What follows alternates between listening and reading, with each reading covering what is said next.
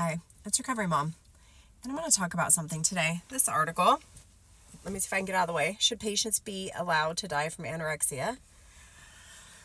Uh, showed up in the New York Times magazine, and I just wanted to read one of the comments, the responses that were underneath this article. It's written by Dr. Shan Guisinger, and it touches on so many important aspects of eating disorder recovery that a lot of people don't take into account when they're dealing with, working with, living with anorexia. Okay? So I'm just going to read it. I'm just going to read it for you. Really try to listen to each sentence, each part of this touches on almost every aspect of recovery, and it's just so important. And here's the comment by Dr. Guisinger. Engelhart's excellent piece was marred by experts' outdated understanding of anorexia. Before we suggest palliative care, we should tell these hopeless people that weight loss, not psychopathology, causes the disorder.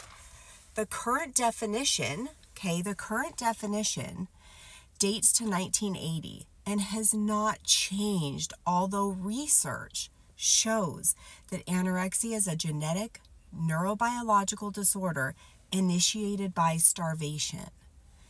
In 2003, I showed that the symptoms could have been selected during prehistoric famines when migration was the best solution to local famine. Rats, mice, and pigs also made their living as omnivorous, opportunistic, wandering foragers and will develop anorexia and hyperactivity when starved. In a lab cage, they will die. We should tell sufferers and their families that the reason for the skewed sex ratio is that ovarian hormones turn on any genetic ability to develop anorexia in response to starvation. This genome hormone starvation interaction can only mean that teenage girls were selected to travel during a famine.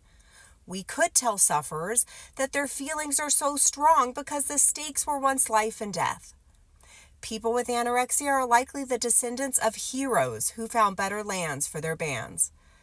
The disorder changes as weight is regained, we must prepare them for when ravenous hunger takes over, when they are close to their healthy weight. The same adaptation that thwarts dieters, sexism, economic incentives, and resistance to paradigm change have prevented the development of effective treatments.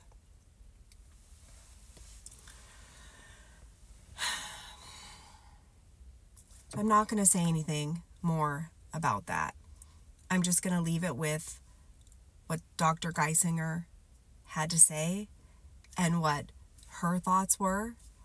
Um, and I look forward to reading your comments and your thoughts down below.